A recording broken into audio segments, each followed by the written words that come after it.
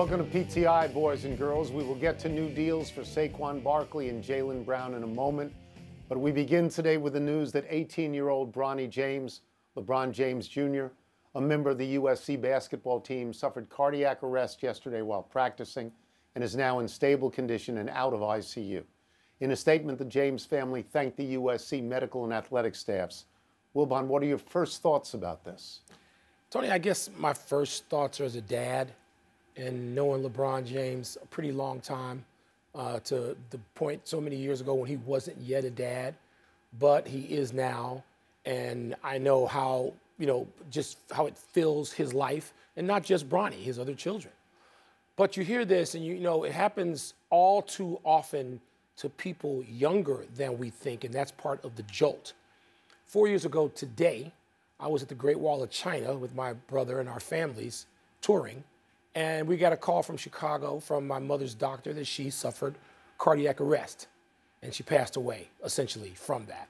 Four years ago today. So when I heard this news about cardiac arrest, these things become very personal and personalized. And at 93 years old, you know, you expect anything, a lot of things at Bronny's age, what is he, 17, 18? You, you, you, 18. You, 18, you, 18. you don't. And so my thoughts are just I, I, hope there is the most complete and full recovery possible. Young people yeah. move on from these things now and live very, very active lives. And I hope all that is possible. And my thoughts are with LeBron and Savannah and their children. Yeah, so my thoughts are probably the same as almost everyone's thoughts in this, which is how awful he's a kid. He's just 18 yeah. years old. I mean, that's the first thing that you think of. The phrase cardiac arrest is a terrible, jolting phrase, no matter who it happens to. So, uh, like you, I wish for a 100% recovery. I'm not as concerned about the future of basketball as I am concerned about the future of his health in a circumstance like that. And I'm sure that along the way, people our age think maybe of Hank Gathers basketball player. Think maybe of Reggie Lewis. Uh, um, I, I, think that they certainly think of Damar Hamlin because that just happened last year, and you could see that on the field. You would hear that phrase, and you could see the effect, the profound effect on teammates. I mean, we're in this situation now, Mike, where we have very little facts and we have a lot of emotion, a lot of feeling. Stories that you read point out people who have had cardiac arrest and gone on to resume their yes, careers absolutely. fully. And so we, we want that in this situation, but our hearts reach out to the entire family Absolutely. and we move on from that now. We now move to Saquon Barkley agreeing to the Giants' offer of a $2 million signing bonus and incentives that could push his salary this year to $11 million, which is $900,000 more than the franchise tag slot of $10.1 million. Barkley has reported to training camp and will play for the Giants this year. Wilbon, what do you think of Barkley taking this deal? Tony, it seems like he had to take it. And we've been dealing with this bigger story, this more general, this umbrella story about running backs and what they are trying to do and just discussion with each other and whether that can affect any sort of change. You and I have watched the NFL all our lives at a point where running backs, certain of them, were more important than the quarterback of a team. That's Certainly, right. I lived my That's whole right. life that way. Gale Sayers, Walter Payton. Go ahead. Name the quarterbacks you want. I, most important players. You, obviously, your favorite player, one of them, has been Jim Brown. More important, yeah. probably at times in his career, than, than the quarterback of that team, and they won a championship. Sure. I, I, Saquon Barkley, it's, I hear $10 million, and I hear about Diggs, who signs a, the cornerback, the terrific cornerback of the Cowboys, who I think also signed today for essentially like what 18 or 19 million dollar average. I don't know how much of it's guaranteed. And I'm saying to myself, you mean to tell me he's more important to the success of his team than Saquon Barkley is? I don't believe that. But this is a we live in a sports time, Tony, where people follow the leader. They do that more than they do anything else. It's all copycat, and running backs have no value to the people in the NFL. Yeah, I mean, I think Saquon Barkley probably made the best deal he could. Do you want him to sit out? If he sits out, he forfeits $10 million. And then he just gets a year older and less valuable. He's not a quarterback. He's not an edge rusher. He's not to interpollinate the sports. He's not Kevin Durant. who can wake up one morning and say, I'm going over there. Right. That's not how it works. I think that this is basically a feel good deal for everybody involved. Saquon Barkley gets a little bit more than he thought he was going to get. He gets the 2 million up front and he gets 8 to 9% more with the incentive so he can say he won. The Giants can say we held the line, we gave them a little bit more, but we held the line, so we won. And the NFL, Mike, can say that every single Sunday for 18 straight weeks, there's going to be a home team in New York that's either going to give you Saquon Barkley or Aaron Rodgers, so they can say they won't, because they don't want Saquon Barkley not playing. But as you say, the greater issue is the actuarial table, which says that at a certain point, running backs lose value, yes. no matter how good they wow. are. Like new cars, drive them off the lot. Then what are they worth the moment you turn the Half. corner? I'm stunned Half. by it and a little dismayed, to be honest with you, Tony. I, I am. And now to the Detroit Lions, who are facing high expectations after finishing last season on an 8 and 2 run. As camp opens, head coach Dan Campbell says the hype train is out of control right now. Tony, you with him? Well, let me just say, first of all, how glorious it is that there's any hype at all about the Detroit Lions and how wonderful their, their fans must feel because you know what the Detroit Lions have been doing for the last 50 years. They have been stinking Nothing. the joint out Nothing. for the last 50 years. Yep. Since the merger, which I believe is 53 years ago, they have one playoff win. One playoff win. And so now, on the basis of 8 and 2 to close and a winning record, people are saying they should win the division. And Dan Campbell's 100% right to get off the hype train. But Yeah. again, if you're a Lions fan, you probably feel pretty good. And don't tell me they should win the division, just tell me they can. Because Aaron Rodgers is not the quarterback at Green Bay anymore, because Minnesota perennially underachieves even if they make the playoffs they get bounced out and because your Chicago Bears were 3 and 14 last year. So they can win the division for the first time in a long time. I'm not a betting man, but I sort of feel like just taking a flight to Vegas. I don't have to do that anymore, though. And just putting some money down on the Detroit Lions not winning the division. Because that's what they've done my whole life of following that division. right. I'm with Dan Campbell. The hype train is out of control, okay? I'm not going to watch them on Hard Knocks. I, I'm not. But it's out of control and good for him. He has said all the right things to me, Tony, about the work they have to put in, about earning it, all the right things. But I, I don't I don't see them winning the division. I think the pressure Right. there. And you know what? Normally, I sort of root for Detroit secondarily, right? Because they're never a real threat in the in the NFC Central, not the North, the Central. So, but this year, they're good enough now for me to pay attention to and say, all Yeah. right, I can root against them now because they don't really stink. There's promise there. They can win the division. They can go further than that. Can. But it doesn't mean They they, were- will, and I'll take the field in that division against the Lions. They were five and one in the division last year. Yeah. Minnesota was four and two. Green Bay was three and three, and your Bears were zero and six. And you Yeah. don't have to worry, no matter what kind of cable or streaming service you have, about watching them on Hard Knocks, because the Jets are on Oh, Hard Knocks. okay. We go to the Speaking NBA of the hype the train, news, the Jets We go to and the, NBA. Lions. Who's more hyped? and the news. Let me try and get this sentence out. That the Celtics have signed Jaylen Brown to a five-year, $304 million supermax contract, the richest deal in NBA history. The Celtics lost to Miami in the conference finals this past season. Brown averaged 22 points in the playoffs with three assists and three turnovers. Wilbon, does this signing make sense? Yeah, because they had to do it. They just could not be in a position. You know, we deal with this with Shohei every day. Do you trade him? Do you, suppose he decides not to re-sign with you, you let him walk. You let that great asset, a historic asset, walk out the door with nothing in return. And that's the quandary that faces, you know, executives for a team. You can't let Jaylen Brown walk, even though the Celtics haven't won. I'm not going to say they've been a disappointment, but but they've come really close to being a disappointment because they got to the finals once. Jaylen Brown was central in that situation. He's not even the best player on his own team. Jayson Tatum is that. Yes, he's not. They got rid of Marcus. Smart, who I think was the heart and soul and maybe even the brains of that team primarily. That's what I think. I'm not high on what the Celtics have done. They had to do it, Tony, but it doesn't ensure anything for the Celtics. I, I, I just can't get past the numbers on this contract. I cannot wrap my head around the numbers. $60 million a year for a guy who, as you say, is not the biggest star on the team. He's not. Um, and now they've done well with him. He's been on They the team have. for seven years. And he's They good. made the He's a playoffs damn good each player. time. Yeah. He's a fine player, but, and there's always a but, in the conference finals this past year, he had more turnovers than assists. Yeah. And in the conference finals this past year, he shot 16% from three. Look, I- I think that they should always contend the Celtics, and I think the Bucks should always contend. I don't think the same way about the Sixers, and I don't think the same way about the Heat. But if you want to step back from this and say, "Oh my God, sixty million dollars a year," what are we talking about? We're going to be seeing a lot more of those, Tony. And remember, Jayson Tatum will be up for similar, if not identical, extension next season. So here's the deal. We they got made a one year. mistake. We should have been they basketball got, players. Yeah, we should have been. We didn't we We're both crazy. try to be that until about 15.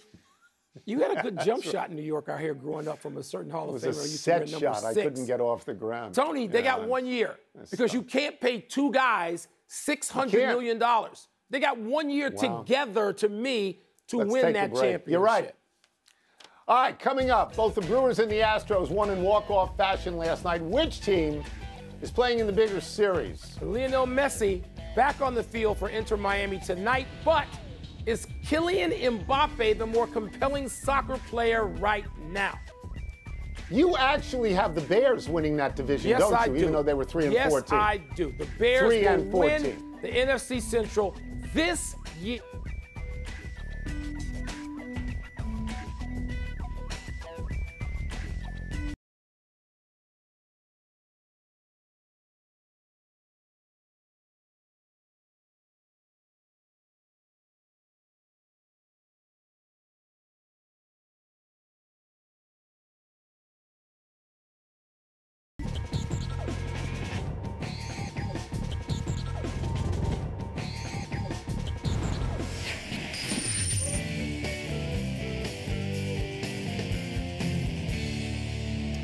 Time for toss up. Two men enter, one man leaves, finishes the show, ponders the meaning of life, then flips on the second of a three game set between the Rockies and the Nationals. What's first? Toss up, they both ended in walk-offs last night. More intriguing series, the Reds Brewers or Rangers Astros? Can I push? You always push. Can I push? I guess I can't. Um, notwithstanding Elly De La Cruz hitting 800 foot home runs, I'm going to say the series is the Astros and, and the Rangers. Yeah. And that's because the Astros are the defending World mm-hmm. Series champions, and I had no idea they would not be leading their division by now, and I certainly had no idea that Texas would be. Texas was won 68 games last year and lost 94. They finished dead last in that division. Division, so I don't know what they're doing in first place at all. I'm going to leave the other series to you because that's No. your home division. Yeah, it um, But. I, I think it's the Astros are putting on a push of sorts right now. And Mike, I honestly believe that they are the best of the four teams we're talking about. Tony, it is my division, and I will pay attention to it. I did pay attention to it last night. And Elly De La Cruz, that was amazing. The back and forth and trolling him, you know, with Cin- Cincinnati and I, I mean, I mean uh, Milwaukee.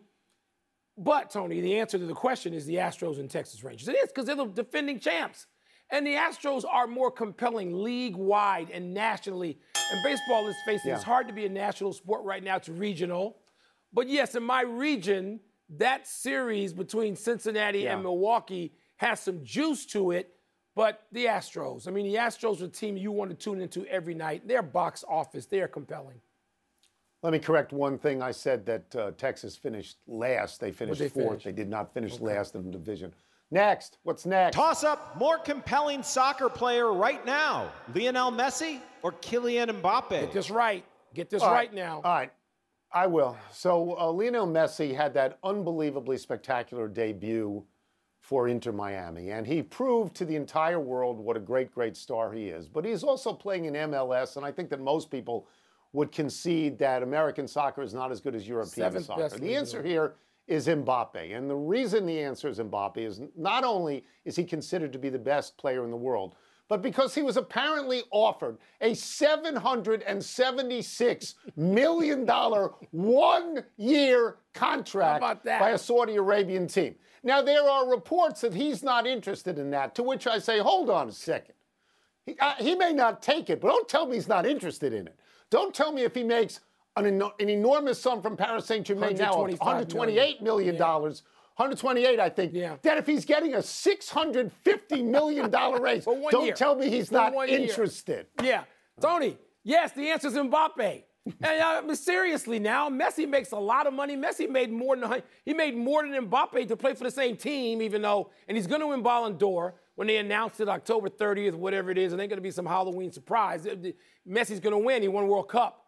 But Mbappe is 24 still. I don't think he's turned 25 yet. He's the more compelling player. He's the great player. By the way, that thing's going to be announced in Paris. How crazy is that going to be when Mbappe's not even there anymore? He's not with Paris Saint Germain. He's somewhere else. But Tony, people think that Jayson Tatum and Jaylen Brown getting a lot of money at 60 mil, Oh, this is $770 million. Of course he's interested. And if he's not, one quick question before we get out of this segment. When do the Saudis come and say to the NBA, say to Adam Silver, we'd like to own that team in Seattle or that new Yeah. team in Vegas? And I don't know what Yeah, your I would owners, your people, you American people are willing to put up a couple hundred, maybe a billion. 1st. We'll just top Right that at the trade six deadline. times. Boom. Six times. Here's money. Huh? Here, we're throwing money. Yeah, Money. yeah. When does that happen? Catch it. That's it. Let's take one last break. Still to come, could your boy Jim Harbaugh be suspended to start the season? Where does Candace Parker's injury? Oh, foot injury. Lead the Las Vegas Aces. I've had a foot injury. I'm I'm really simpatico with Candace. Come on 776 now. million Come on. dollars for one year? One year. What? You could be 26 and go to Madrid. Tonight on SportsCenter at 6 Eastern. The latest on Bronny James's condition after suffering cardiac arrest at a USC practice. Plus, the Celtics hand out a record-breaking contract to Jaylen Brown. Does this make them a finals frontrunner? And Saquon Barkley and the Giants reach a deal. What this means for the running back market moving forward. SportsCenter, 6 Eastern on ESPN.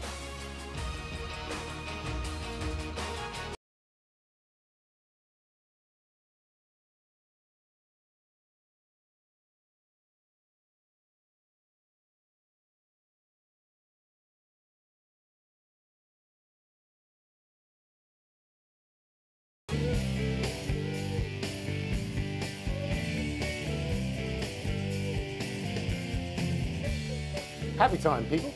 Happy 22nd birthday, Bryce Young. Young was the overall number one pick in the most recent NFL draft. Carolina traded up to get him. Young was the runaway Heisman Trophy winner in 2021 when he had 47 touchdown passes and only seven interceptions. He was not in the Heisman mix this past season, but he had 32 touchdown passes and only five interceptions. Nobody worries about Young's talent, they worry about his size. At the combine, Young measured at 5, 10 and an eighth, and 204 pounds. There are two clearly successful small quarterbacks currently Russell Wilson and Kyler Murray, but most are considerably bigger. If Frank Reich starts Young, he will be the fourth Alabama quarterback starting in the NFL now, alongside Tua, Mac Jones, and Jalen Hurts. Tony, when the Bears had the number one pick, I, I didn't want to trade and get rid of Justin Fields to go after Bryce. I didn't. But let me just say this anybody who doesn't want Bryce representing them, I mean, the intellect, the poise, the kid is obviously a great player. I mean, you have to Yeah. feel good if you have him in your locker room and on the field. Not so happy anniversary, Zach Borenstein. On this day six years ago, the outfielder for the minor league Reno Aces miscalculated this fly ball and had the embarrassment of having the ball bounce off his head and over the wall for a three run home run. This, of course, conjures up the infamous play from Jose Canseco when a ball bounced off his head and over the wall for a homer. Borenstein spent nearly a decade in the minors with reasonable success, but never got the call to the show. His best year was 2018, playing for the Mets AAA team in Las Vegas, leading the Pacific Coast League in walks, second in runs scored, third in home runs, fifth in doubles, and seventh in RBI. He was a successful professional baseball player, even though he didn't get the chance in the bigs. And why do the Mets get mm-hmm. to have a, a team in Las Vegas? What are the Mets doing with a, a- a minor league team in, in the desert? Come on now. Stay in No your lane idea. in Florida. No idea. Happy trails, Patrice Bergeron. The Bruins captain has announced his retirement after spending all 19 of his NHL seasons in Boston. Bergeron had contemplated retirement after last season, but returned on a one year contract and helped the Bruins to the best regular season in NHL history, only to suffer a demoralizing first round playoff exit to Florida. Bergeron, who turned 38 yesterday, was on the Bruins 2011 Stanley Cup winner and played for the Cup in 2013. Bergeron was one of the best two-way centers of all time. He won the Selke Trophy as the NHL's best defensive forward a record six times, including the last two seasons. Also, sadly, Tony, Johnny Lujack passed away 98 years old. 98. He won three titles and a Heisman at Notre Dame and played, get this now, quarterback, cornerback, and special teams for four seasons with my Bears back in the 1940s. Well, in those days, everybody was two way. Yeah, right? he was three way. Everybody played both yeah, ways. he did. Yeah, yeah, great. Yeah, it's one of the one of the greatest players in college football history. We're running out of show. Let's go to the big finish. Let's do it. Michigan coach Jim Harbaugh could be suspended four games as part of a negotiated settlement with the NCAA over false statements to investigators. Is that significant? Ah, significant, Tony. Maybe it's a little bit embarrassing on some level, but the first four opponents, no, it's the preseason. No, Michigan's going to be fine in terms of football against those opponents. Golfer Justin Doeden confessed to changing his scorecard in an attempt to make the cut at the Ottawa Open. Is this a lifetime ban, Tom? I don't know about lifetime, but it's one to two years starting immediately. Yeah, starting immediately. I think so. Candace Parker had foot oh, surgery. She's no. out indefinitely. Big no. deal. Candace, I know all about foot surgeries. We got to talk. You know how much I love Candace Parker, Tony. No timetable for her return. The Aces are the best team in the league. Her numbers aren't what they were going to be in the prime of her career, but she's important to that team. Mets and Yankees start a two-game Subway Series tonight. Significant outside New York? No, they're not playoff teams. Last one, Nikola Jokic skipping the FIBA World Cup. Is that okay with you? Yes, get some rest. He's exhausted. Training camp is in like nine weeks. Come on now. Not okay with me. Wembanyama and him should be playing in the World Cup. We're out of time. We'll try and do better the next time. I'm Tony Corner. I'm Mike Wilbon. Same time tomorrow, Knuckleheads. You can get the podcast on ESPN app or Apple Podcasts. Jokic, run your horses, get some rest. Your Sports Center. PTI.